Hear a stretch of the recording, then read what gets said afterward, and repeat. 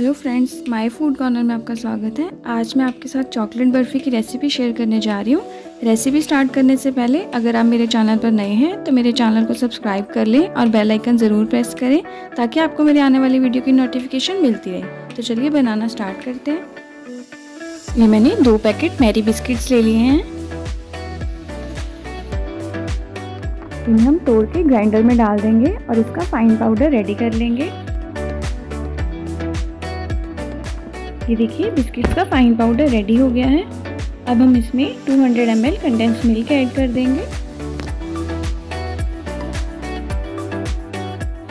और इसे हम अच्छे से मिक्स कर लेंगे।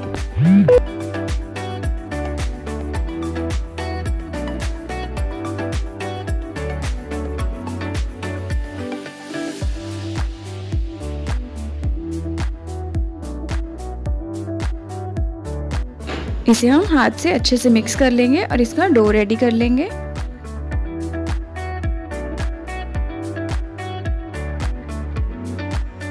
इसमें हम दो चम्मच दूध ऐड कर देंगे और इसे भी अच्छे से मिक्स कर लेंगे।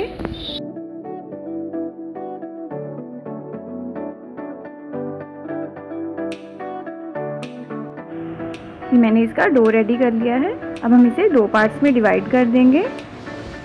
एक पार्ट में हम हर्षित का कोको पाउडर डाल देंगे एक चम्मच। थोड़े से इसमें कटे हुए ड्राई फ्रूट्स ऐड कर देंगे। इसे हम अच्छे से मिक्स कर लेंगे।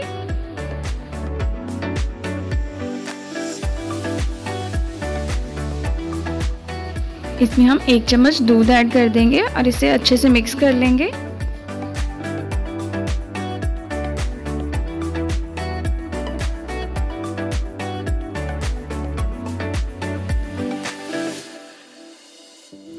बर्फ़ी बनाने के लिए हमारे दोनों डो रेडी हो गए हैं। अब हम एक सिल्वर फॉइल पेपर ले लेंगे। इसे हम घी से ग्रीस कर लेंगे और चॉकलेट वाला पोर्शन ले लेंगे। इसे हम हाथ से इसी तरह से शेप दे देंगे। जिस शेप में भी आप काटना चाहते हैं, उसी तरह की शेप दे सकते हैं आप इसे।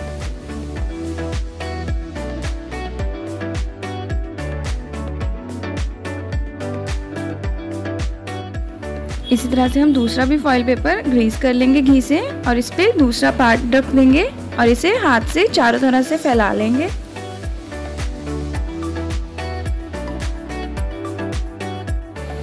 अब इस शीट के ऊपर हम चॉकलेट वाला पोर्शन रख देंगे।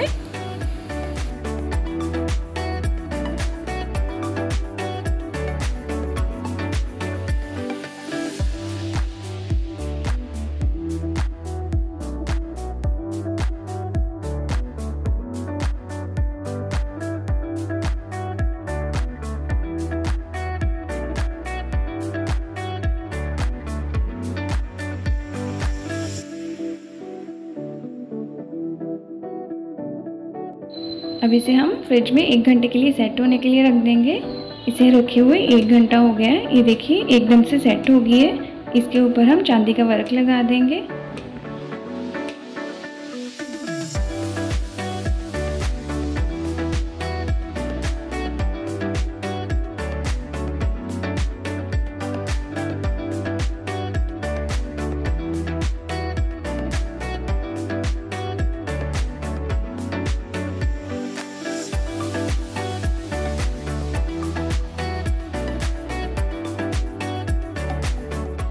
ये चॉकलेट बर्फ़ी बनकर एकदम तैयार है। अगर आपको मेरी ये रेसिपी अच्छी लगी तो इसे लाइक शेयर और सब्सक्राइब करें। Thank you for watching